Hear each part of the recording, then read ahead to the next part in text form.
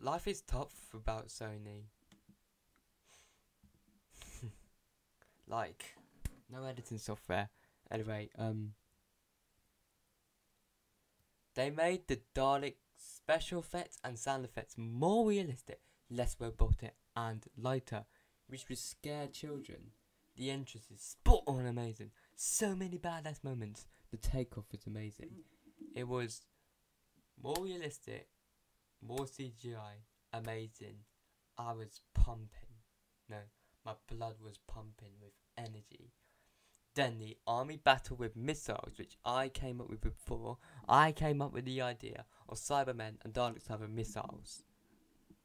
And like bombs and grenades in a story, but it never got made. You never know in the future. I'm gonna do it. When I when I re when I when I'm built up again. And takes down the internet to roast ours plebeinos with those stereotypes. A throwback to Parting the Ways with the Forceville. Then the ending of Killing the Dalek intense because Ryan Aaron could die. I hear conspiracies on Instagram. Sad that the opening titles run at the beginning. As always, colour grading, cinematography, special effects, editing, camera shot, angle movement, all amazing always. But at the beginning, then I know they want to get snappy and bright and coloured. Not, I wasn't sure on the big text though. The Dylan's Captain America Civil War doesn't really look cinematic. The music was really ghostly. Um, yeah. Here's what my friends thought of the um Finny Bobby. Yeah, that's another phrase of mine.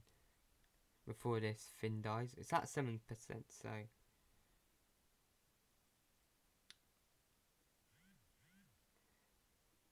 I hated the politically incorrect points in this series, so I agree with Terry.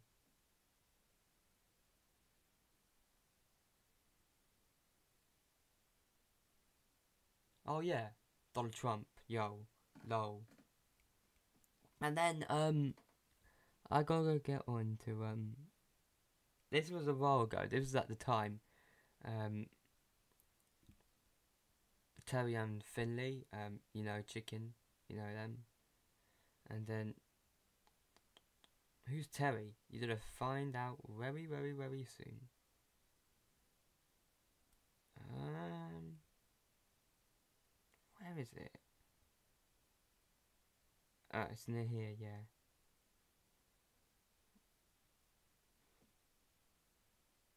I thought it would be good if they hadn't made dumb mistakes about the Dalek.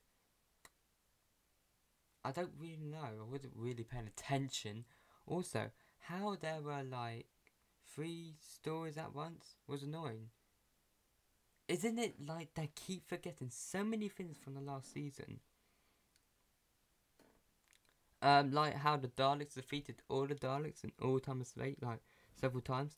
I found it hysterical how the Daleks is really like this murderous grid in reality. Like, okay.